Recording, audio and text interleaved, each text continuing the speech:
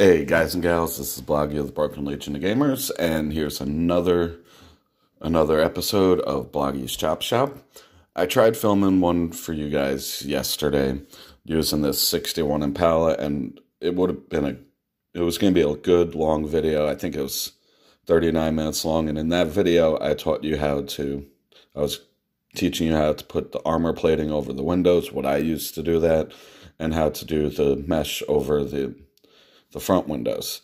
But something happened with my phone, and um, when it when I went to go put it up, they said there was an error with the video.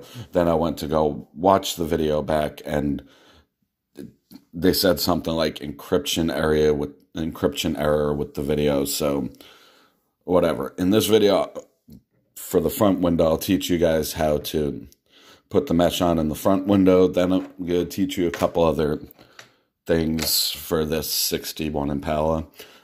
but let's get going this way. This video is another 40 minute video.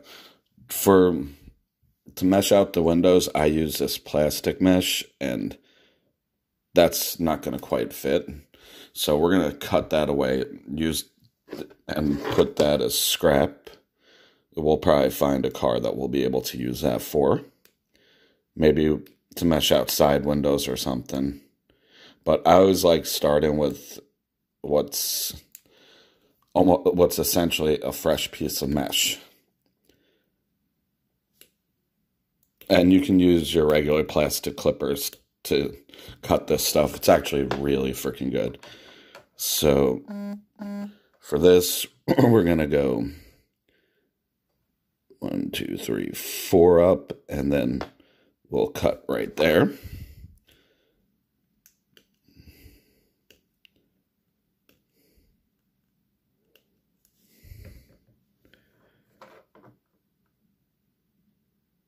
Yeah, four up. Four up, we cut this. This just gets us oh, basically the regular, basically the general measurement of the window, and then we can we trim it to fit. Well, we can trim it to fit afterwards. Usually I mark it out with a fine tip Sharpie, but my double sided Sharpie with the fine tip has been missing. So this we could actually, just to make it look like it's been cut to fit, we'll go like that, like that, and then maybe we can get uh, where's my hobby knife? Right there. We can trim this down even better with the hobby knife.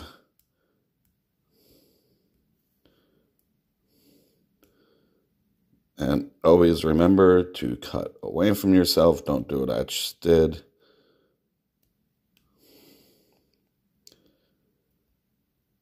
Just to get this a lot a little bit nicer and more uniform. This is actually doing this is actually just like an optional thing. You don't really have to do this. You can just go with it with the little bits on the bottom but i like getting a nice close fit. Okay yeah that fits real nice. So now we applied the crazy glue. And this is pretty much the biggest pain of doing this.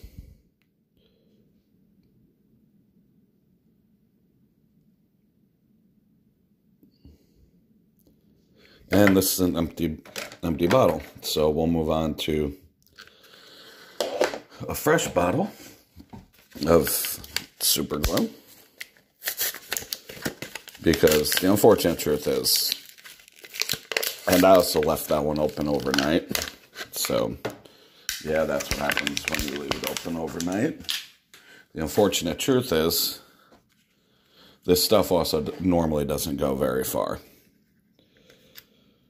Now, to open up a the bottle of Loctite, you gotta click it Actually, it's a lot easier to click when you have the cap on. That actually punctures, it's essentially a foil pack inside this nice bottle. Okay. And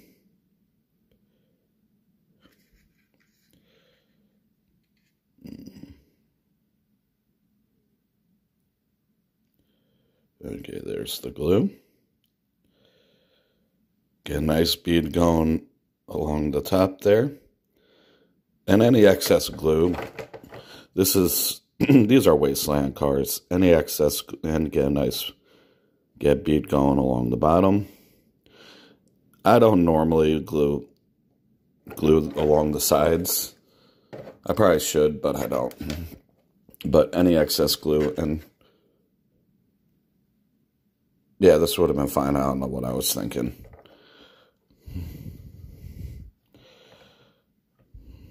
And then you just hold it in place for 10 seconds, maybe.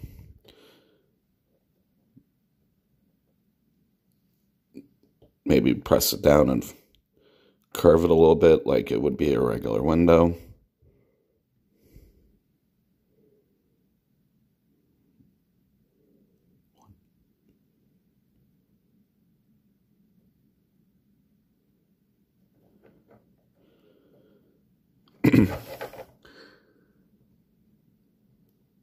As I said, this is the the most annoying part of doing Gaslands cars, getting this mesh to stick to where the windows are.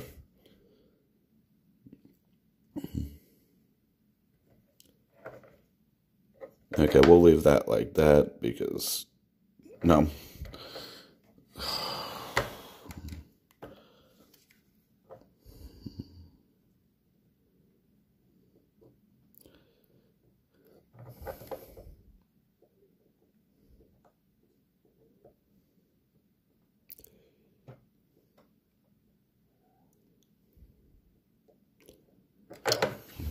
Okay, now let's try this again.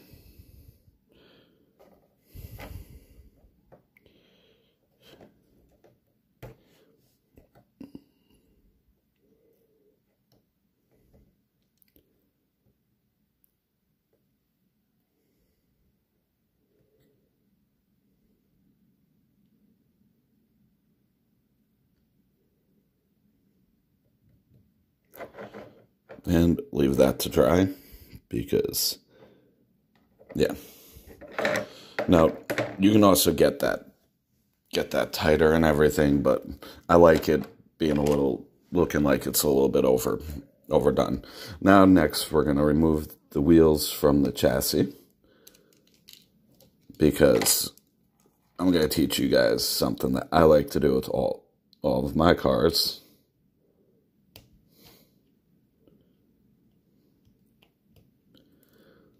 Okay.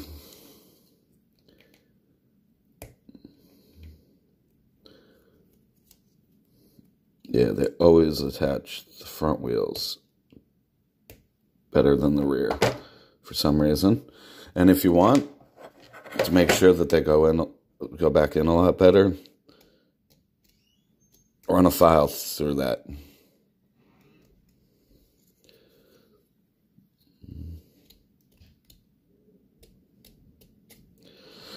Now, I'm not going to be...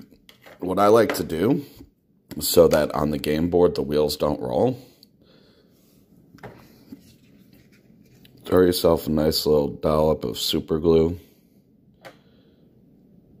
on that part of the axle. Pull that like that.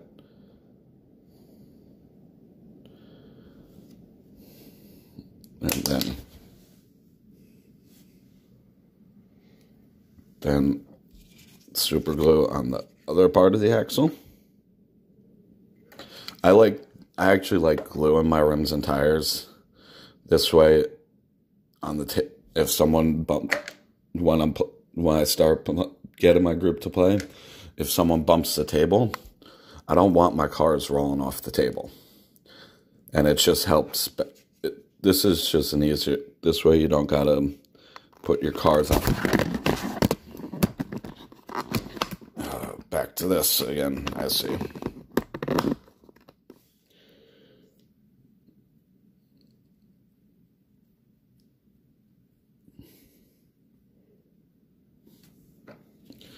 The this just keeps the cars from rolling around the table if the table gets bumped or something.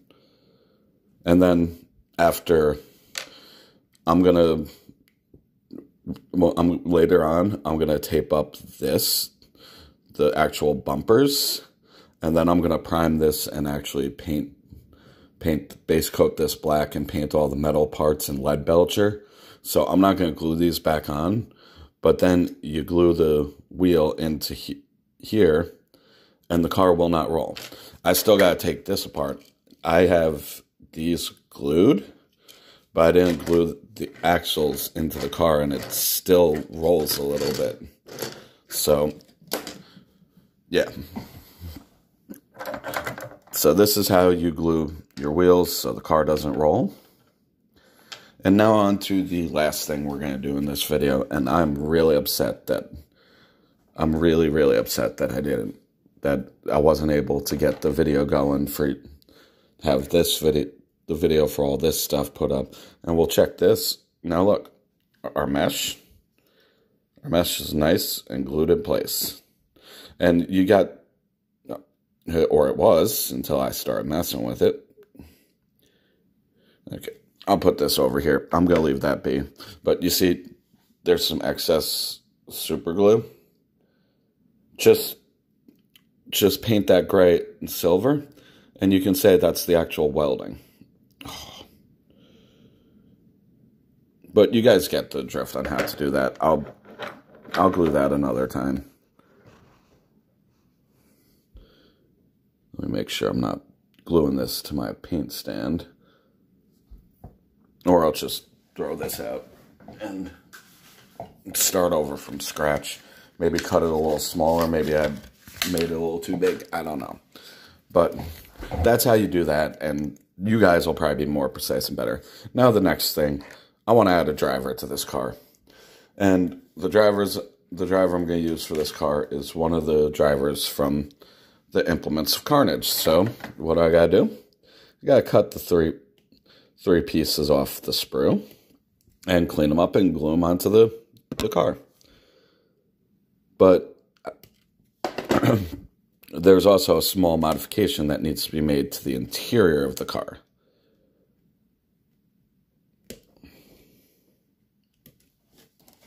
That small modification is with the implements of Carnage Driver. He's got a steering wheel in his hand already. Steering wheel that looks an awful lot like a hubcap turned into a steering wheel if you get a good look at that. If you ask me, that looks like a hubcap turned into a steering wheel, that's just me. So what you got to do is you got to cut out the steering wheel. And I'm not just going to go right to cut in the post because the, po the post has to stay.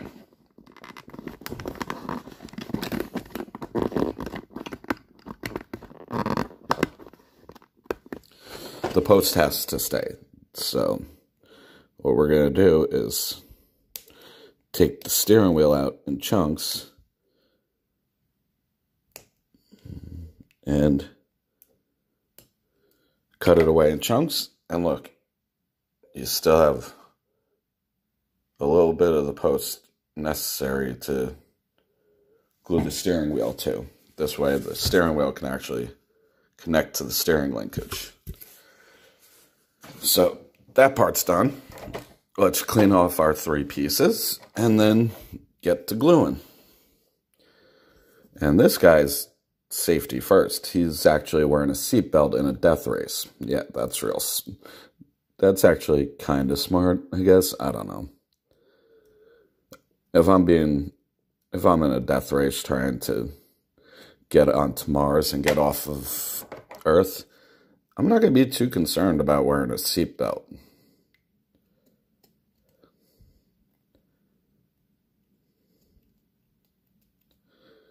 Okay, is that a mold line or is that no? That's a that's a detail line. Okay, he's wearing microphones for like a communication system. Oopsie, my bad.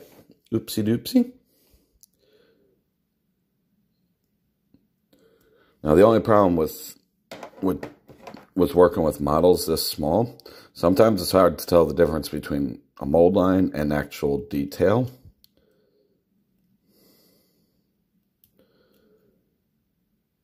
Okay, that's that's detail, so that doesn't need to be cleaned up.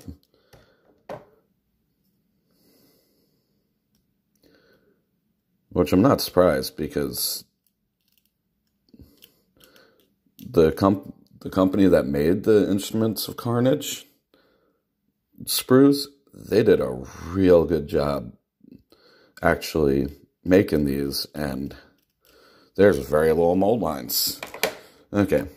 Now, now it's time to glue, glue in the driver. And actually, to make things easier, I'm actually going to glue the torso into the feet first and then use the torso as my gripping point because as you can see, I was dropping the, um, I was dropping the legs without the torso attached, so maybe it'll be easier with the actual torso connected. So I'll put a little dollop of plastic glue.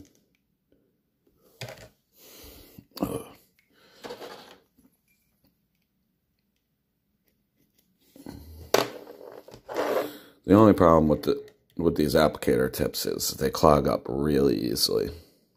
Especially when you're cheap like me and you like using it the applicator tips for multiple projects. Okay.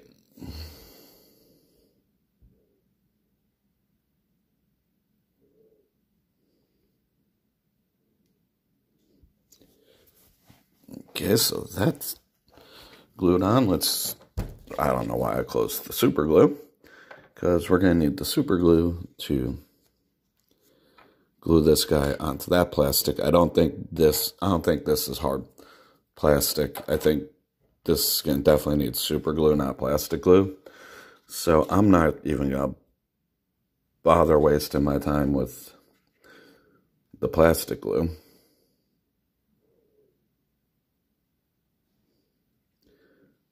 Let's get some super glue on this.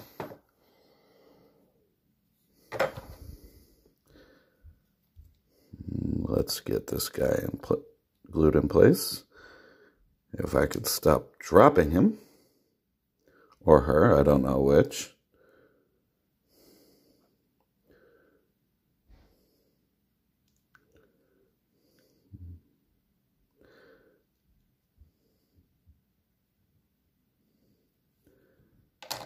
No.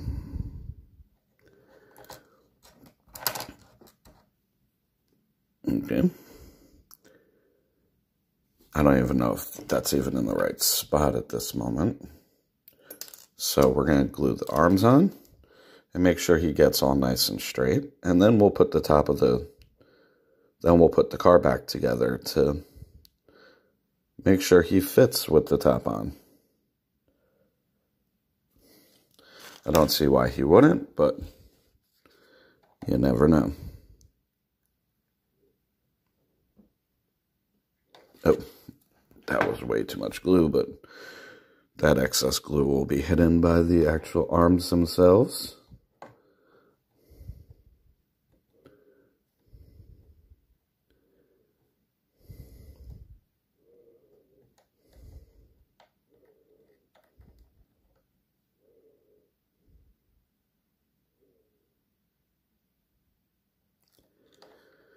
And for some reason, he is not sticking with the super glue. so this is what we're going to do.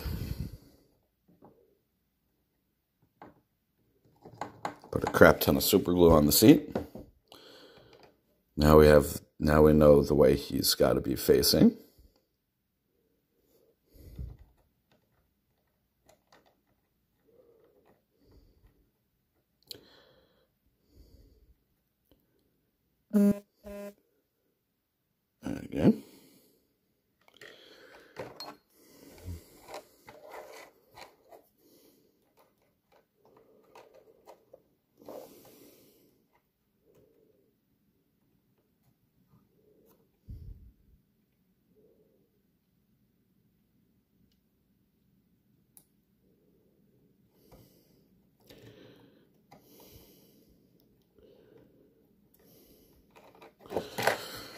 Uh.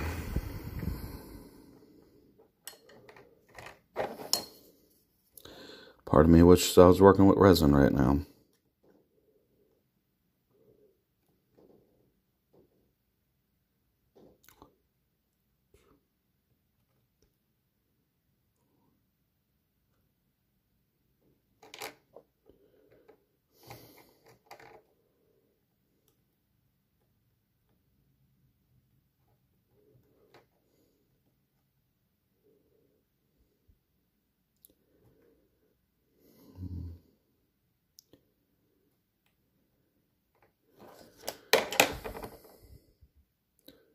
Not having high hopes for this driver, to tell you the truth. I don't even think he's going to actually fit in with the top on.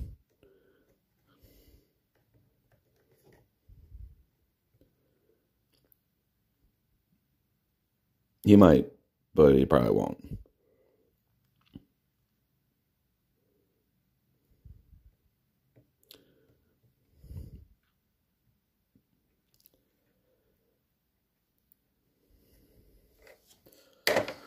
Okay, and now let's start getting the car back together. These are the rear wheels. Here's the front wheels. And like I said, I'm not having high hopes that that this guy's going to fit in the actual vehicle. And we're going to keep the glass out because we don't really need it.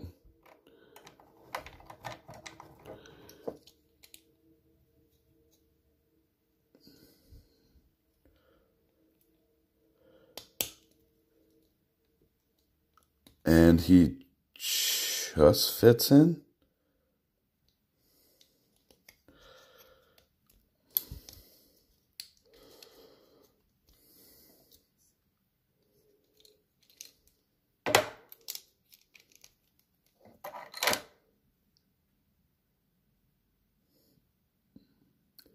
Yeah, he's going to just fit in.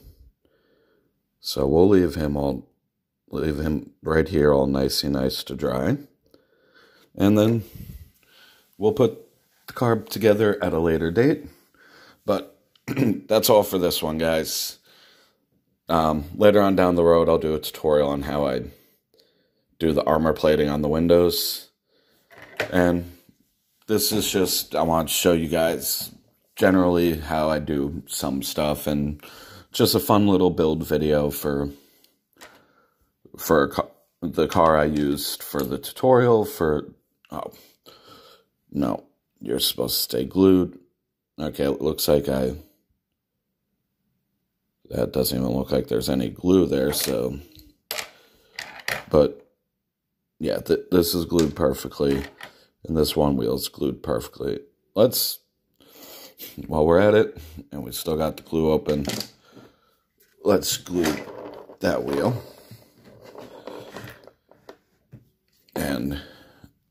Let's glue that wheel and then we'll call this a video. I really thought I got this one. Uh, maybe I glued this one twice. Okay, we'll leave this like this to dry. We'll leave all this stuff to dry.